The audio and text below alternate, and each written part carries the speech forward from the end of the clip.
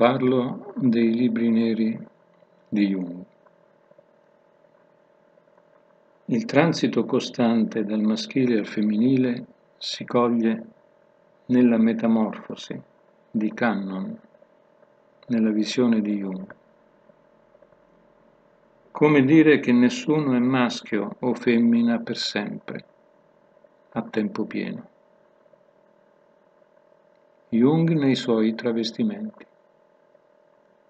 Nella visione il maschio è affermativo, la femmina spietata.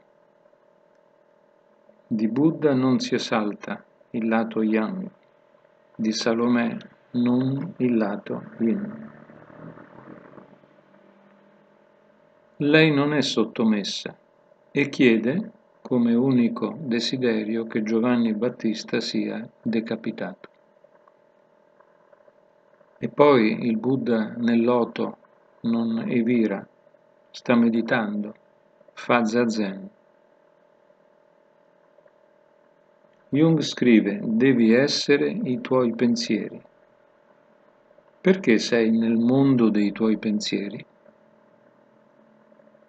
Io commento, una volta in questa sfera ci si identifica con ciò che vi si trova, idee, pensieri.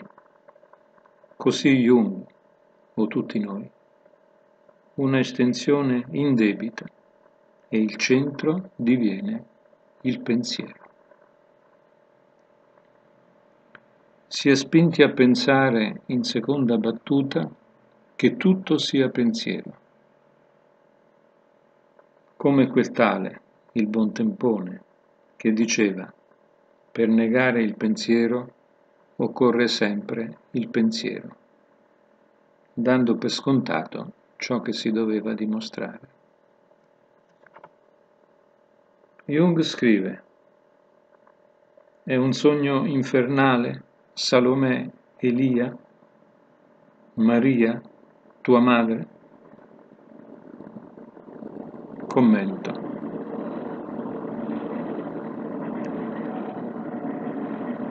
L'accostamento tra l'anima e Salomè, sempre più stretto e sacrale, nonostante la reputazione della danzatrice.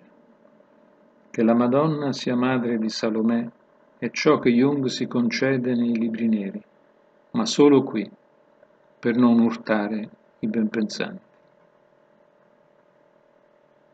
Poi scrive la porta può aprirsi solo per chi aspetta lì, povero e incolto. Mio commento. La povertà è dell'umiltà di chi non agisce e accetta il non sapere. La povertà di Enrico IV, che attese udienza paziente a Canossa, tra la neve. La porta come metafora del mentale, che si spalanca solo se vuoto e nudo. La presa di coscienza. Il cavaliere rosso come emblema del demonio, l'eterno avversario interiore. Nei libri neri si insiste sulla sua valenza diabolica, più che inquadrarlo come figura alchemica l'attrice di Rubedo. Nelle opere visionarie Jung è quanto mai vicino al demoniaco, talora presentato come la teologia cristiana lo menziona. E poi scrive, ci sono anche ebrei, brave persone, pur non avendo bisogno dei tuoi Vangeli solenni Credo che tu non capisca bene gli umani, scrive sempre Jung stavolta con la sua voce. Mio commento su Jung e l'ebraismo.